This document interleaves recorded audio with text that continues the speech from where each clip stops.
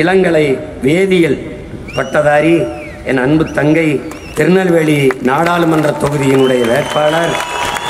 ஒரு குடும்பம் அந்த குடும்பம் முழுமைக்கும் ஈடுபாட்டோடு நாம் தமிழர் கட்சியிலே உழைக்கிறதென்றால் அது என் அன்பு தங்கை அவருடைய குடும்பம்தான்.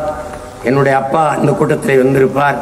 இரவு முழுக்க உறங்காமல் சூரட்டி எப்படி ஒட்டியிருக்கிறார்கள் கொடி எப்படி கட்டியிருக்கிறார்கள் என்று பார்க்கக்கூடிய பெருந்தகை. அவரைத்தான் நான் முதன் முதலாக பேசி என் கட்சியிலே இணைத்தேன். அவர் கம்யூனிஸ்ட் கட்சியிலே இருந்தவர்.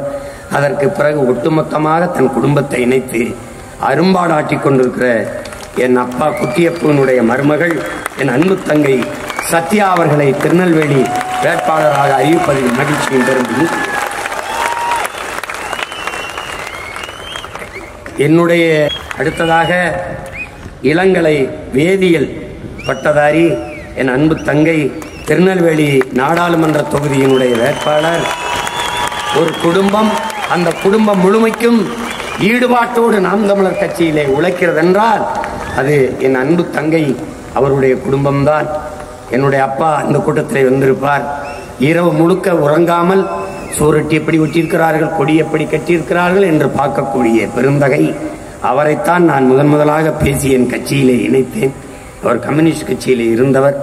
அதற்கு பிறகு ஒட்டுமொத்தமாக தன் குடும்பத்தை இணைத்து அரும்பாடாட்டி கொண்டிருக்கிற என் அப்பா குட்டியப்பனுடைய மருமகள் என் அன்பு தங்கை சத்யா அவர்களை திருநெல்வேலி வேட்பாளராக அறிவிப்பதில் மகிழ்ச்சியும் பெறும்